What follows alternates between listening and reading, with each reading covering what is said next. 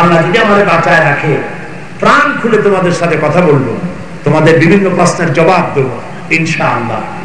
আমি আশা করি বগুড়া শহীদ প্রেসিডেন্ট জিয়াউর রহমান সাহেবের জন্মভূমি, যেখানে তিনি জন্ম লাভ করেছিলেন, তৃতীয় বিশ্বে ক্ষমতার কেন্দ্র বিন্দুতে থেকে মোহমুক্ত জীবনের যে তিনি পরিচয় দিয়েছেন। থার্ড ওয়ার্ল্ডে এই বিশ্বে বর্তমান সময় তার দৃষ্টান্ত এক বিরল ঘটনা। আলহামদুলিল্লাহ। এই জন্য জাতি তাকে সম্মান দিয়েছে। তিনি ইসলামের সম্মান দিয়েছিলেন। তিনি বিসমিল্লার মর্যাদা দিয়েছিলেন। আমাদের সংবিধানে বিসমিল্লা ছিল না। তিনি বিসমিল্লা ঢুকিয়েছেন, ঠিক না? এখানে ধর্ম নিরপেক্ষ মতবাদ ছিল। তিনি ধর্ম নিরপেক্ষ মতবাদ তুলে দিয়ে উপর ইমান এবং অবিশ্বাস, আস্থার কথা বলেছেন। বহুদলীয় গণতন্ত্রের কথা বলেছেন। শুধু বিসমিল্লা বলছেন, আল্লাহ এত খুশি হয়ে গেছেন।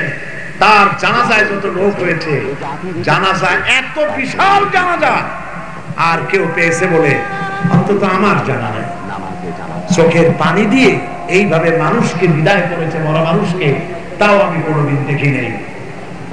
পত্রিকায় হেডিং ছিল, একটি কফিনের পাশে বাংলাদেশ, একটি কফিনের পাশে বাংলাদেশ। মনে হচ্ছিল জিয়ার সাথে দেশের কোটি কোটি জনতা সব তার সাথে কবরে যেতে চায়। এই যে ভালোবাসা তিনি পেয়েছিলেন, ইসলামকে ভালোবেসে। আল্লাহর প্রতি প্রগাঢ় শ্রদ্ধা এবং ভক্তি রাখার জন্য।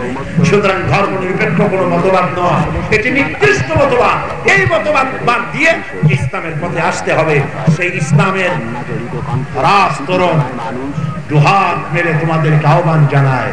পৃথিবীর সকল মতবাদ দুপায় তোলে এসব আল্লাহর নবীর পতাকা তোলে, ইসলামের পতাকা তোলে।